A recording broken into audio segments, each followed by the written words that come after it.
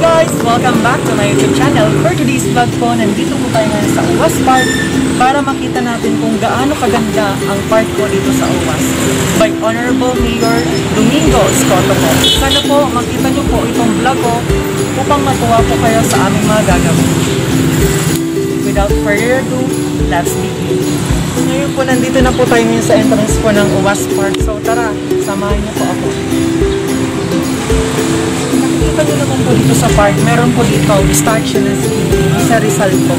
Like po doon sa um, um, Ligaw, tapos sa Manila, meron po din mga ano, kada park may mga ganito mga statue. So, makikita niyo po ngayon itong um, daanan po, sobra po talagang na yung ginawa po talaga dito. Sobra pong pinag-iisipan, super bright mind po.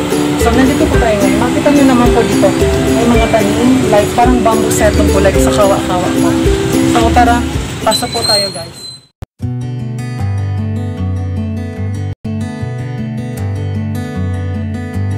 Guys, may playground din po dito, mga pinaglalaroan po dati ng um, siguro way back on 20, ay 2009 ata. Hindi pa hindi pa to totally na ano upgrade or na renovate. So dati hindi pa to masyadong kagandahan. No? Hindi naman sa pinag-ano ko ang Tuwas Park po. So ngayon po, may improvement po tayo dito nakikita na sobrang pinaganda po ngayon at pinag sobrang pinaghandaan po. So let's see. Ito guys, nakita niyo po? Ito kayo sa Uwas Park. Upang malaman niyo po kung, kung gaano kaganda po dito sa Uwas. Sana po mabigyan po tayong aliw at um, maging masaya tayo dito sa ating mga gagawin. Kunyari may mga celebration tayong ginagawa, banding, birthday, or picnic po. Um, just came here na mag-enjoy po kayo dito.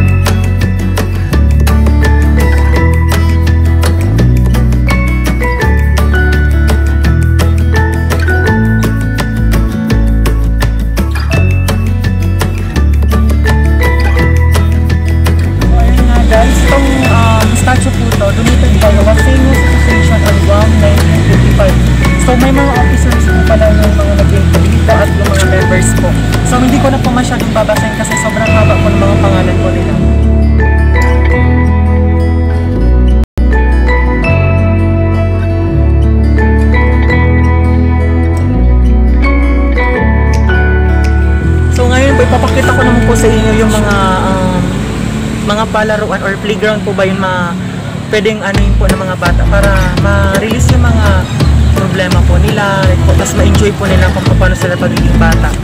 Ayun po.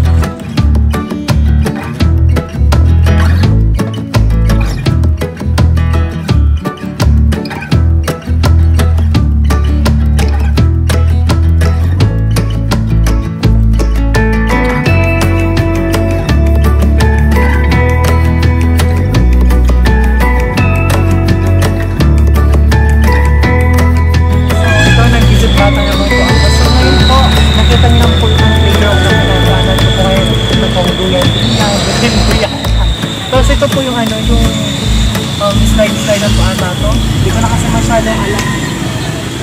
Tapos, ito naman po yung next one natin.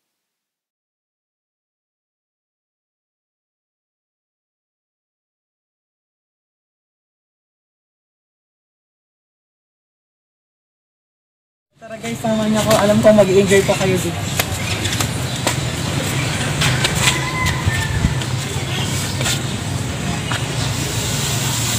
Guys, yung pinakaabangan po natin, na makita po natin yung mga garden.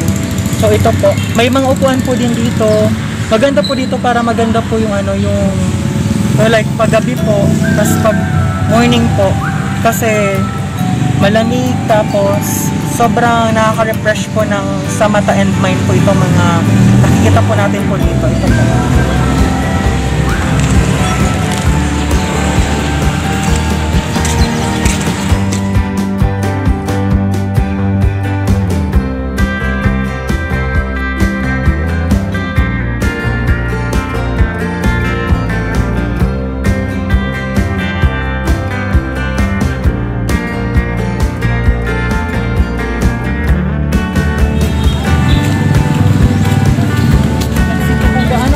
Po dito sa Park.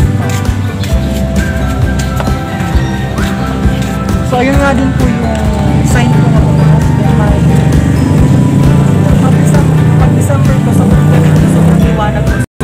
May dumadayo din po dito mga taga-iba-ibang lugar. So, alam ko pong nag enjoy po sila dito. So, ito po, kita niyo na mo po kung gaano po kaganda po ang mga garden po dito. Sobra pong pinangangalagaan yung mga bambu-bambu. Kulang na lang po ahas. Sorry lang po. Ito po guys.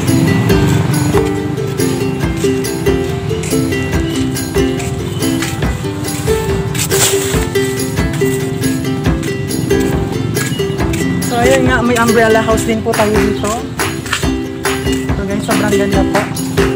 Then, kung sa Ligaw po, may fountain po. Meron naman po kami dito fountain. Kaso, hindi ko po alam kung bakit hindi po siya ngayon ano, yung water.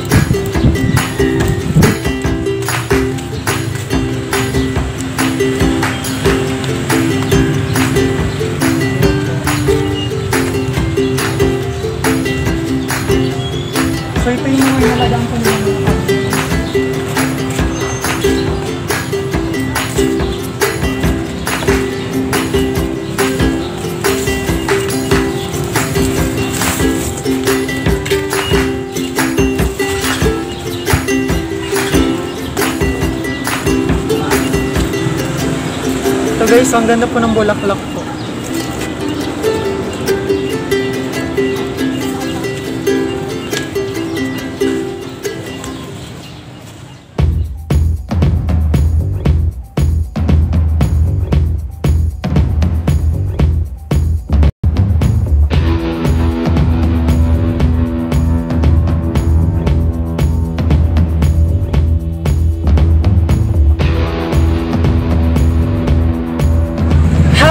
What's up, what's up everyone? So, nandito naman po si Ash nagbabalik. So, ngayon po, sana po nabigyan ko po kayong aliw sa aking ginawa at sana kahit po hindi po kayo dito nakakapunta, alam ko pong parang nag-enjoy na din po kahit nakapunta po dito sa Uwas Park po. Alam ko pong nag-enjoy kayo like sa garden, sa playground po at sa statue po ng ni Jose Rizal po. Dito po sa park, hindi po kayo magsisisi na mapumunta po dito paggabi po. Sobrang ganda din po dito. So, kung di pa po kayo updated sa mga latest video ko, just search Ash Vlog. Don't forget to like and share, subscribe, and click the bell button to always notify of my coming videos. Thank you and God bless. Bye-bye!